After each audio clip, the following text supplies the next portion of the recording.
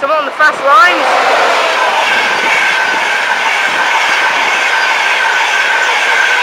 A2206 and I'm not sure what the 91 was.